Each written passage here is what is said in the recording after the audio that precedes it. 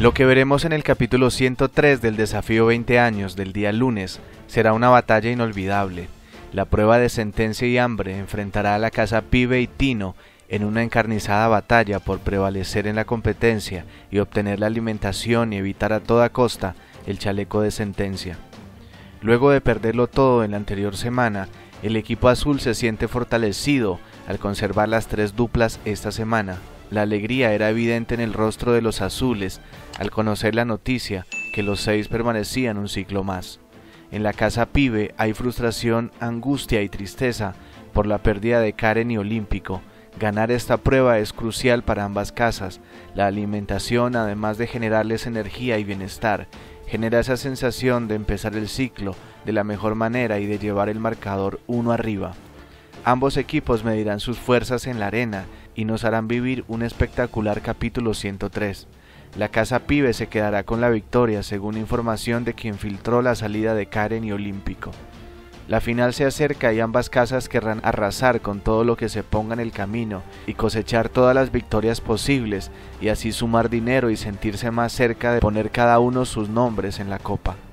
Analizando el equipo pibe, Kevin y Guajira se ponen a la cabeza del liderazgo. Ambos son sinónimos de fuerza, resistencia y victoria. Caroline y Jerry, un escalón más abajo, darán todo de sí para poder seguir avanzando en el desafío 20 años. En la Casa Azul, Sensei y Darling se alzan como los más fuertes, aunque no necesariamente los líderes del equipo, pero los que más se destacan. Sensei es un hombre rápido, ágil y fuerte. Darling ha venido de menos a más en todo el juego y seguirá creciendo bajo la sombra de Sensei, quien será su maestro y compañero de pista. Natalia y Vi consideramos que están en una desventaja entre todas las parejas del desafío, pero no por eso se rendirán tan fácilmente y alcanzarán a avanzar dos ciclos más. Alejo y Luisa siempre competitivos, siempre dando el 100% en cada juego. Cuéntanos cuál es tu pareja favorita en este desafío, habiendo salido Francisco y Madrid, Santi y Camila y más recientemente Karen y Olímpico. ¿Cuál es tu pareja favorita que sigue en el juego? Esto y más déjanoslo saber en los comentarios. ¿Crees que el equipo pibe ganará el lunes? Una pareja queda eliminada en el box negro a pesar de haber llegado de primera. Aunque logran superar todos los obstáculos con gran ventaja sobre sus compañeros, una pareja se despidió de la competencia por no poder definir en el menor tiempo posible. Natalia, Vi, Darling, Sensei, Alejo, Luisa, Karen y Olímpico atienden el llamado de Andrea Serna y llegan al box negro para el desafío a muerte.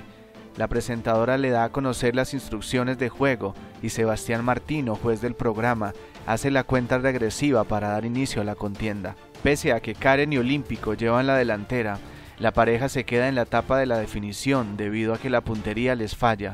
Sensei y Darling son los primeros en salvarse de la muerte, seguidos por Aleja y Luisa. Natalia y Vi logran pasar a la siguiente etapa del reality, luego de embocar la tercera pelota en la cesta, mientras que los representantes del equipo rojo no logran cumplir con esta parte del circuito.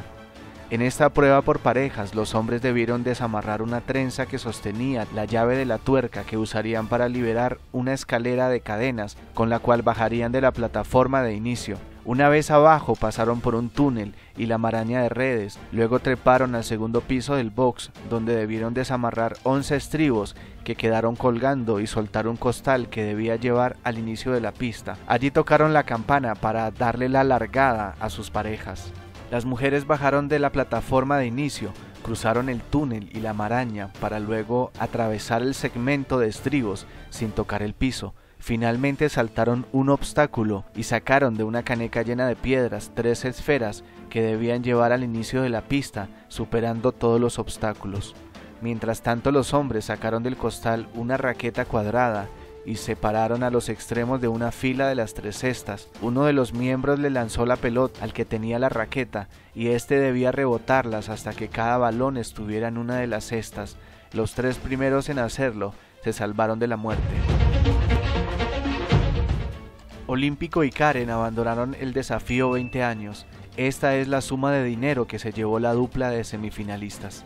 La modelo fitness y su refuerzo, el medallista de taekwondo, no consiguieron superar el último reto a muerte que los dejó por fuera del final del reality, pero salieron con varios millones en sus bolsillos. El juego para Karen María Candía y compañero de fórmula del ciclo dorado del desafío 20 años terminó, pues la pareja salió derrotada en la última prueba de eliminación. Representando al equipo Pibe, esta dupla conformada por la modelo fitness de 21 años y su coequipero Oscar Muñoz se enfrentaron en el box de la muerte a una reñida pelea contra las tres parejas elegidas del Team Tino que no lograron superar.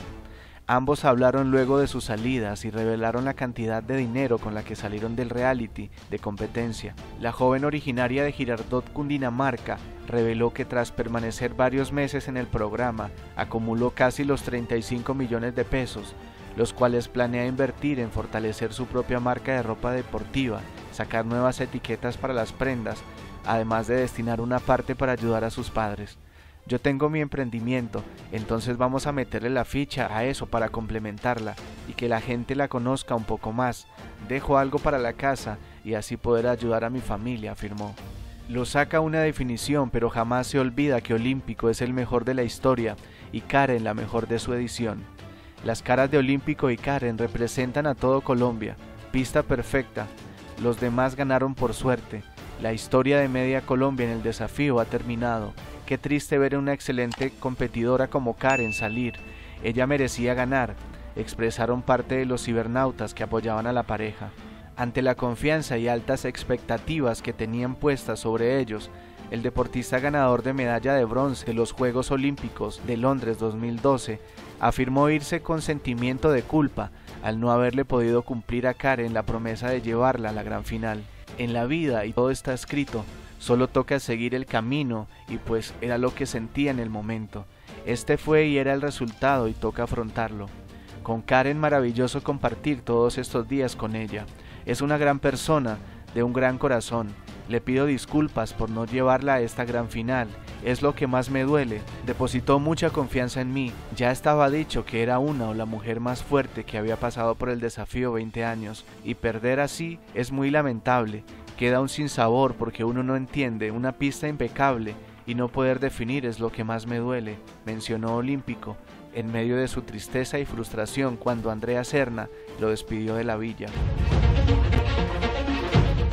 Caroline llora y califica a la nueva eliminada como su hermanita, un sueño se apaga en el desafío.